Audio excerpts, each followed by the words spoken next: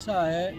Bharatiya Janata party Delhi प्रदेश के आदेश पर और चांदनी चौक ज़िले के अध्यक्ष के सहयोग से हम 11 तारीख से, जो कि बाढ़ पहले दिन से जमुना मैया बढ़ी थी, उस दिन से जब बाढ़ का प्रकोप धीरे धीरे बढ़ा, उस दिन से लेके आज तक हम यहाँ पे सुबह की चाय, दोपहर का भोजन, उसके बाद शाम का भोजन, यहाँ पे हम जो ये बाढ़ पीड़ित जो ये आपदा आई हुई है, यहाँ जो पीड़ित ठहरे हुए हैं शिविर के अंदर, मोरी गेट, स्कूल नंबर एक में, इनको हम सुबह चाय से लेकर दोपहर का भोजन और शाम का भोजन प्रोवाइड करा रहे हैं। इसके बाद किसान घाट के अंदर, जो मल्ला गाँव होता है, वहाँ के जो लोग ठहरे हुए हैं, उनको भी हम भोजन वहाँ भेज रहे हैं। और मजनू का टीला चंद्रावल है जो, चंद्रावल के क्षेत्र में भी पानी भरा था, उनके लिए भी मैं सुबह शाम खाना भेजता हूँ।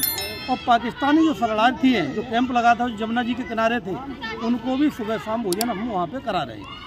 और ये हमारे चांदनी चौक ज़िले का बहुत ही सहयोग है, जिसमें जिला अध्यक्ष जी का सहयोग है और भारतीय जनता पार्टी का एक एक कार्यकर्ता सेवार्थ है। और भारतीय जनता पार्टी का जो भाव होता है, वो सेवा का भाव होता है, चाहे कोरोना काल हो और चाहे आज ये बाढ़ जो आई है, बाढ़ आपदा के अंदर भी भारतीय जनता पार्टी का एक एक कार्यकर्ता जो आपदा के अंदर जो लोग परेशान हैं उनके साथ खड़े हैं और इनकी हर समस्या का समाधान कर रहे हैं। इसमें हमारे क्षेत्र के सांसद, पूर्व केंद्रीय मंत्री आदरणीय डॉक्टर हर्षवर्धन जी, वो रोज़ाना यहाँ पे आ रहे हैं। वो भी शाम के टाइम या सुबह के टाइम भोजन वितरण साथ में कराते हैं। और ऐसा नहीं है कि वो भोजन ही वितरित कराते हैं। हम लोग भी यहाँ बैठ के एक एक रोटी या पूड़ी खाते हैं। क्यों? कि इन लोगों को भी लगे कि हमारे अंदर मान लो कि परेशानी आई है।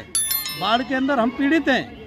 तो इन लोगों को भी ये लगता है कि ये लोग भी हमारे बीच में भोजन कर रहे हैं। इनको भी ये लगे कि बहुत अच्छा भोजन बनता है, इसलिए हमारे बीच में भोजन करते हैं। इनके भी मन में बदलाव आएगा, इनको भी खुशी होगी कि सांसद जी हमारे बीच में भोजन करके जाते हैं।